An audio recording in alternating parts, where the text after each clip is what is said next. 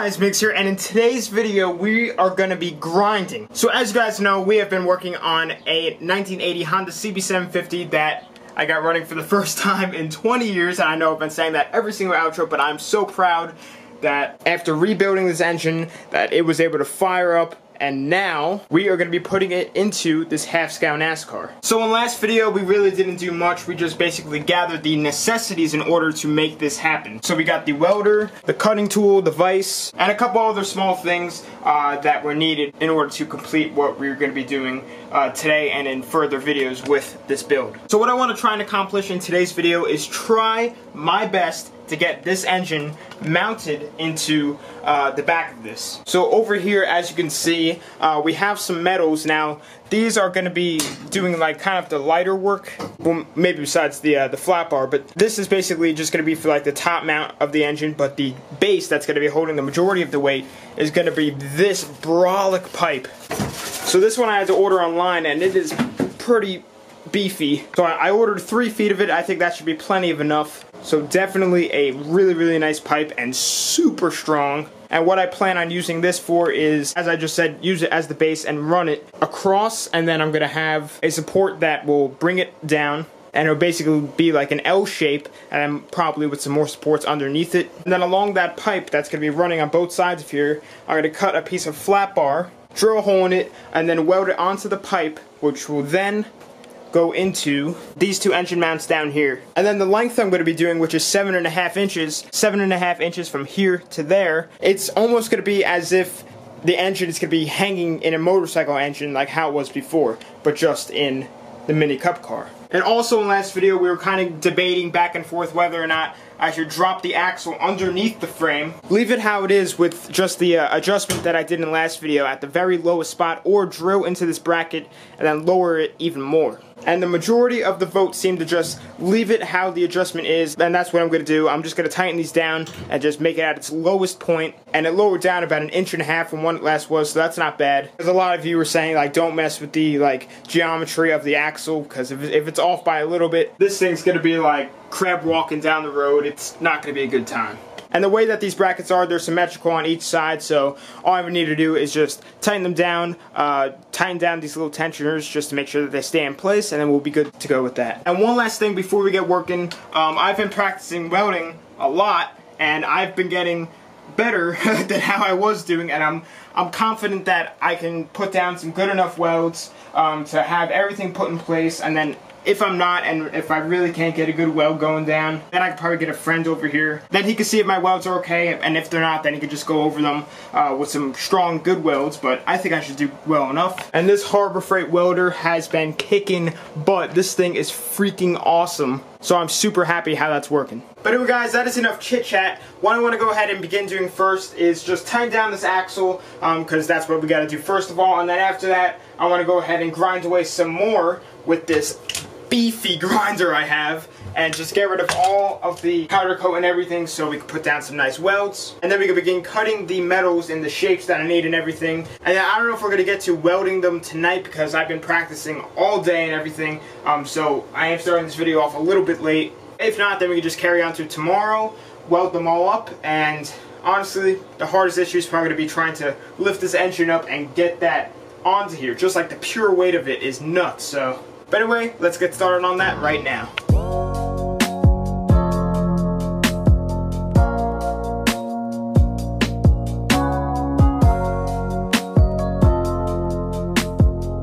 Alrighty, so I just finished up uh, tensioning the axle, so that is all good to go right now. And then I just finished up grinding some more on the on the uh, paint. I forgot to press play on the time lapse, so unfortunately I didn't get that recorded. But I basically uh, went all there and on that pipe a little bit. It probably won't be the last time we use that uh, because I probably am am to end up, uh, you know, needing to do this side, uh, you know, all those pipes when I do the, the upper engine mounts. Um, once I figure out exactly where I want them, then I'll grind it all, and then we'll work it from there. So now I want to go ahead and whip out the tape measure and uh, begin measuring precisely everything that I need to, and then we can pull out the pipes and cut it how I need it, all the angles I need, in order for them to connect flushly, and then it would be time to weld. So we're moving along pretty nicely. So as I was just standing here thinking, um, so I need this to be seven and a half inches. So I need to make sure that half of seven and a half, 3.75 I believe it is, uh, is right in the middle of these two bars. So what I'm going to do to ensure that I make sure that the two main engine mounts are straight and everything is I'm going to cut some flat bar. I have plenty of it, so I shouldn't have to worry about running out. I'm to cut it to seven and a half and then just weld it on here real quick, make sure it's nice and straight, and then that'll basically help me along the road uh, make sure that everything is directly how it should be. I can use a flat edge, you know, make sure that it's all straight and going perfectly back so what I just got to do real quick is just uh, grind off some of here real quick, get all that dirt and paint off, and then I could cut it with the new cutoff wheel, which I hope works. I never really have luck with cutting metal, but I just picked up some of these metal uh, bits, so hopefully that'll help. But then we'll be nice and organized to do the main bar organizing.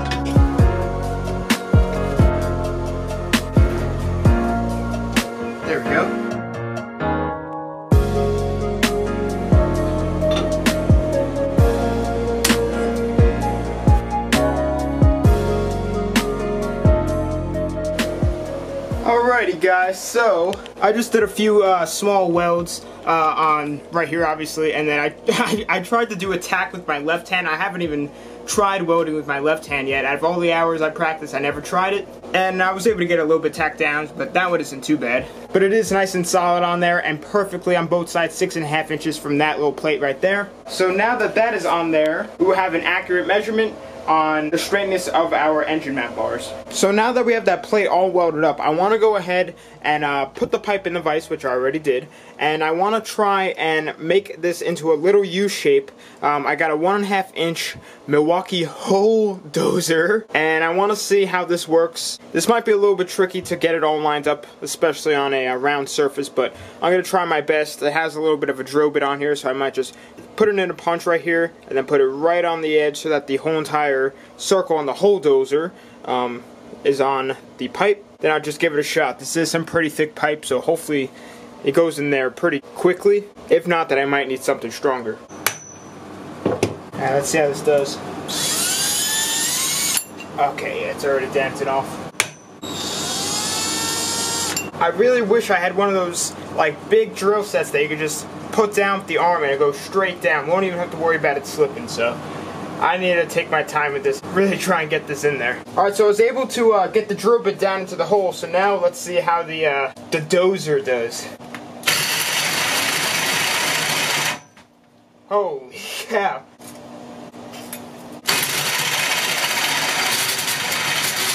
The drill is definitely not liking this. Thing's already dead. So the hole dozer is actually doing pretty well. I'm pretty impressed by it. The little arc in it is coming out pretty clean, except that the drill already died. It is really hot. It's probably overheating. Yeah, it's on one. And I just took this thing off the charger. So it is currently pretty dark outside. Um, so what I might do is I'll charge this up and then I'll charge up a couple other drill batteries that I have and then tomorrow we can continue on. Uh, we can finish up drilling this, which is holding us up right now. And then once that we have that drilled and everything's all planned out, we could, be, we could begin welding everything and hopefully having the engine in by tomorrow. So I'm pretty pumped up. I'm really hoping we could do it. So I'll see you guys then. So guys, we are back here the next morning and I now have two drills, both fully charged. So what I want to go ahead and do right now is to finish cutting that out and I do kind of want to be a little bit quiet because it is still relatively early right now and it's pretty loud. But then once I'm done with that, my plan is to uh, use this little arc I made and to weld it onto this pipe. But obviously, you know, I'm not going to weld the whole pipe on. I need to measure how much I need and then make it go out on a diagonal. And then I'm going to have another pipe um, that's going to be going straight. So I think that should work pretty well. So I'm just going to go ahead and just grind this out real quick. I'm not going to bother recording it. I am almost through and this thing has done a really, really good job. Better than I thought it was going to be. So it should be out in no time. Alright, so I just got my little uh, U-joint cut out and it came out really, really clean. So I'm really stoked on that. So now what I'm to do is line it up uh, with that pipe right there and then measure how far out I want it to come out diagonally cut it, cut the slant, and then basically I'm just gonna add on the straight from there and then cut the pipe where I need to. And honestly, this thing went right through the pipe because I need to cut the uh, edges. Now, obviously it was a little bit thinner than how it mainly is, but it went right through it like butter. So hopefully it goes through the rest of the pipe like that. That would be nice. So I want to make sure that this piping is as low as possible, like in comparison with the axle. So I want it to be at most four inches um, from the bottom of the frame. So I need to make sure that it's nice and flat and make sure that it's not going on a slope or anything. So definitely need to make sure that this is level. So I need to cut off roughly about a foot, make the flat slant, and then it will come back probably about another 20 inches at least.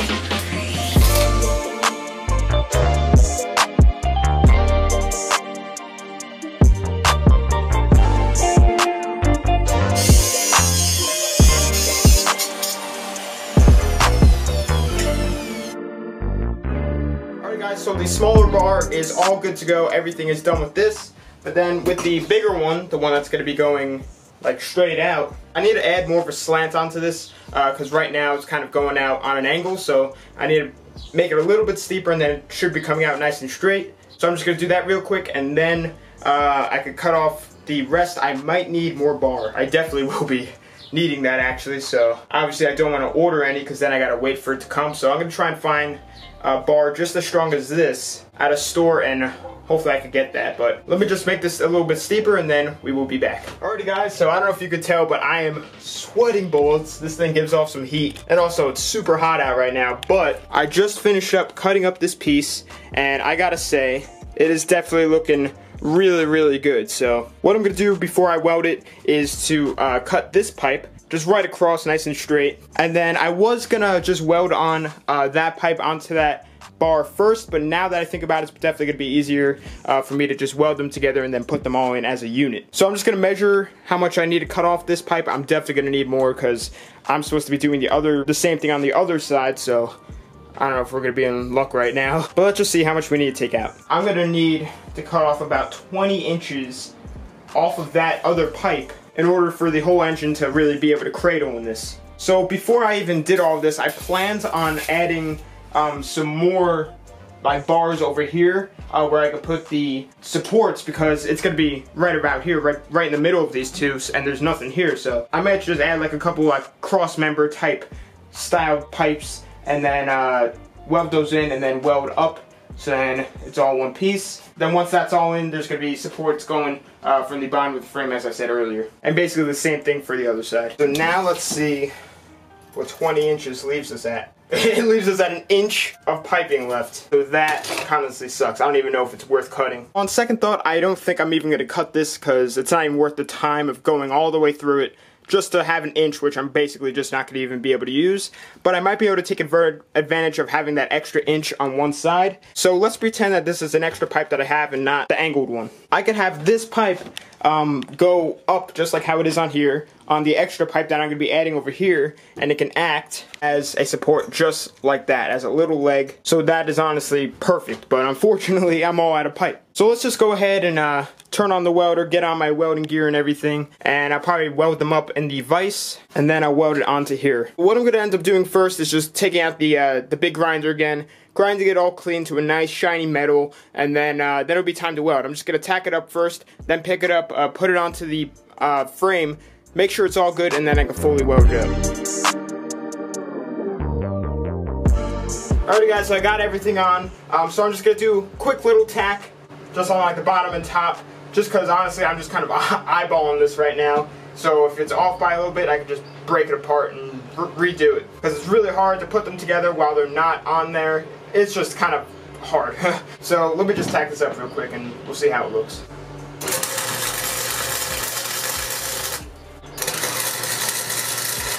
Alright, that's actually pretty good. So now I just want to get eye level with it. Alright, that definitely looks really good. Looks nice and horizontal. And I'm just resting it on the axle because it's just a good way to kind of keep it even because as long as this is all good, then I can kind of put this how I need it. And obviously it's going to be raised up a little bit, so I'm going to go ahead and uh, weld this thing up. Hopefully I don't burn a hole through it or nothing. This is my first, like, serious welding on a tube like this, or on an angle like this too, so I'm just going to take my time with it.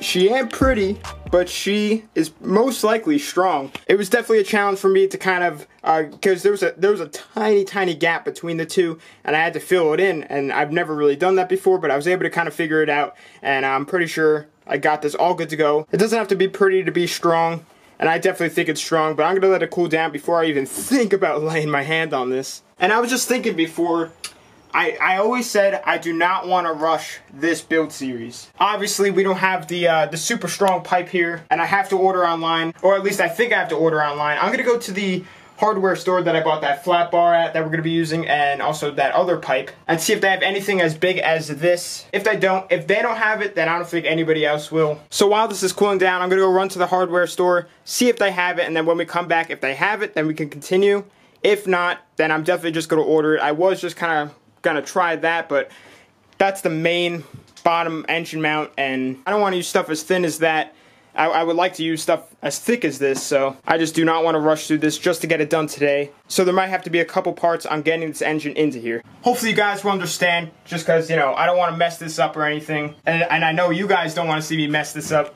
So I think it's best if we just take our time with this and really make sure that we get every little piece as perfect as I can get it. Alright, so actually on second thought, I actually just messaged my friend that just works at that hardware store, so instead of driving all the way up there, I asked him what the thickest pipe he has, and I'll see if he has something as thick as that one. But this pipe is not cheap online. It's like 150 bucks for three feet, and that's what I ordered. So when I do the same thing on this side, I want to try and maybe do the same exact thing. And I was to use this pipe for the supports as well, but after thinking, I think this pipe that I have uh, right here is good enough to support the weight of it. Definitely since it's going to be up and down, but if it were supporting it like somewhere in the middle, how that pipe is, I wouldn't really trust it. I'm sure it wouldn't really bow or anything, but, but that really wouldn't be my cup of tea. But I think I'm going to try and see how the supports could come out with this. I have it clamped down in the vise right now, and I'm basically going to do the same thing. I'm going to make a U shape so that it fits uh, onto the bottom of this pipe. And then what I'll probably do after that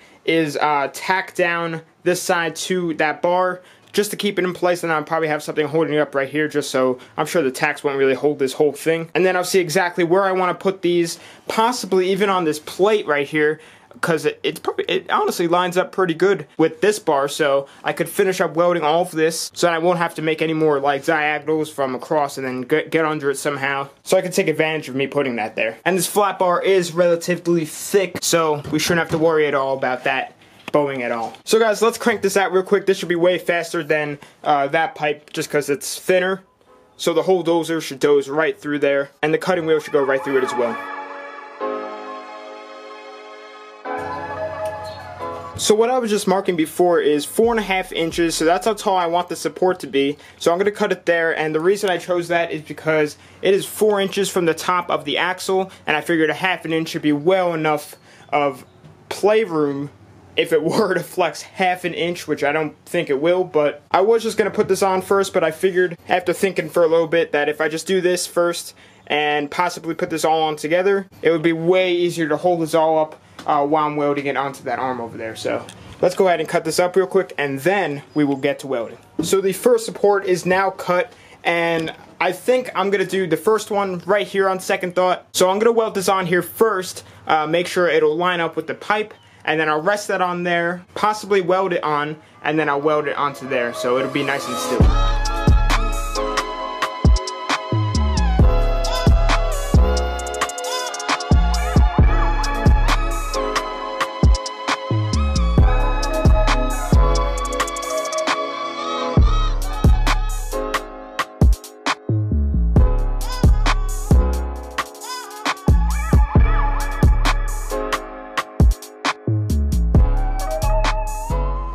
Guys, so everything is coming together just how I envisioned it.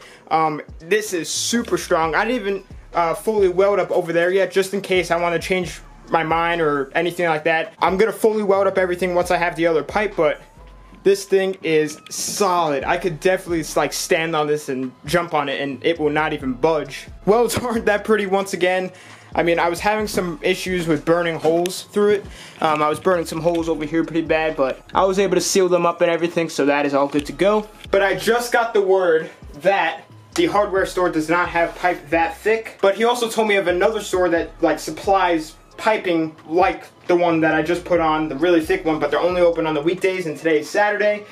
So this is what I'm gonna do. I'm gonna put this into like a two-part putting the engine in series and I'm super pumped that he told me about that store because instead of ordering it and needing to wait for shipping and everything I'm gonna be able to go on Monday get that and, and start back up on this. So I'm pretty happy what we got done today. I mean, like I said, and I keep saying, I do not want to rush this. This is my first time ever fabricating anything like this, and so far, I'm pretty proud of myself. May, might not look much to some of you, but to this, to me, this is like a masterpiece. Definitely the Harbor Freight tools are working nicely, so shout out to them. And no, I'm not sponsored by them, but if they want to, then uh, you can hook your boy up. But anyway, guys, I'm gonna be ending off the video here. Stay tuned for the next part on getting in this engine. I'm destined to get it in in next video. If we had the materials, then it would definitely be in in today's video. I, I, won't stop until that thing's in. But enjoy some clips after the outro if you want to see them of me welding for the very first time and how I kind of improved on myself and fixed the mistakes that I made. So enjoy those clips. But anyway, follow my social medias. They will be in the outro of this video. Instagram and Snapchat I use the most. But thanks for watching. Please subscribe, like, comment, share friends with the channel.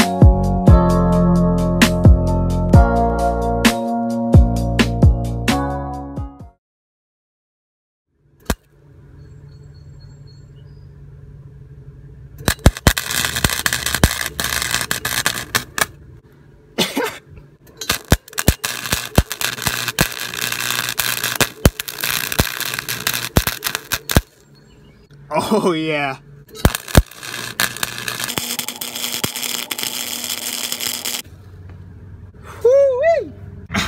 Alrighty guys, so first time ever welding is complete. So that's my first attempt right there. Really awful. Second attempt, burnt a hole in it. And third attempt, I had somewhat of a bead going. But my friend uh, that's helping with this said I'm going too fast and I should start off on some flat bar. So I'm gonna do that. I'm gonna pick up some flat bar quick and uh, practice on that a little bit, but I think I should be able to get it down. I'll definitely say that even though these welds are awful, if I stand on this side and try and break this in half while pulling on it, it, uh, yeah. well, before it wasn't breaking, but now it is, so. I'd say I'm about ready to, uh, weld some bridges. Let's go. I'm just kidding.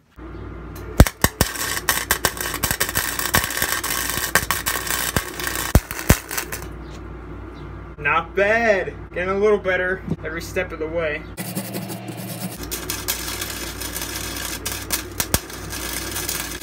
Okay, that one wasn't so great.